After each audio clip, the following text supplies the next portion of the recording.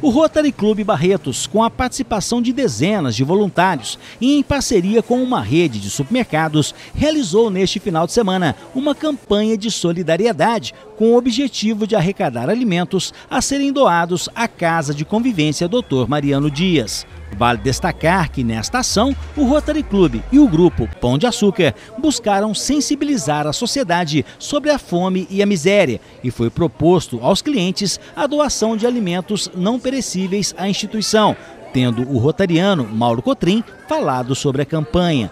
Eu agradeço primeiramente aos barretenses e dizer que essa campanha funciona da seguinte maneira: nós fazemos todos os anos a campanha da solidariedade junto com o grupo GPA, ou seja, o Extra, né, para arrecadarmos alguns alimentos para algumas instituições.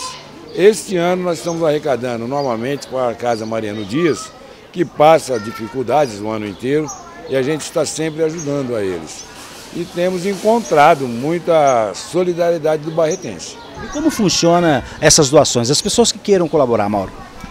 Nós estamos aqui na porta do mercado, aqueles que passam para fazer as suas compras, a gente solicita alguma coisa. E aqueles que quiserem nos doam, e a gente recebe com muito agrado, né, com muito carinho.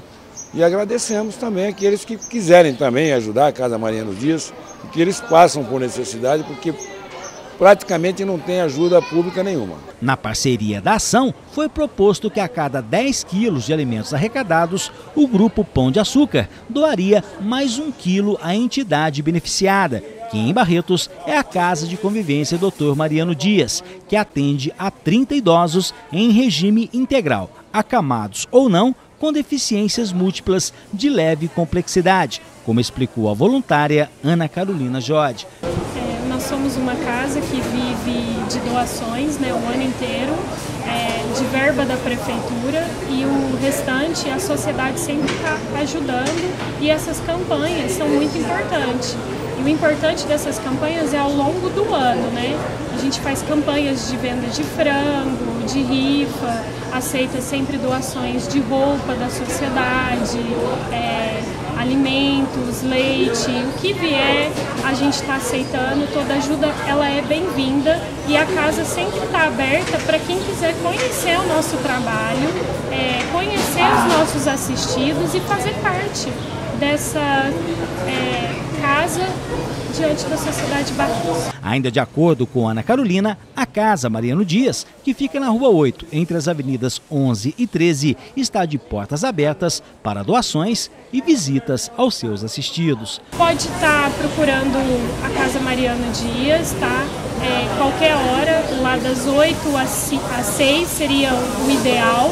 É, tem a coordenação Jefferson, a Cristiane, assistente social, que pode estar recebendo e as pessoas podem estar indo lá tanto para doar quanto para conhecer ou para fazer um café da tarde com eles e passar um momento conhecer as suas histórias, né?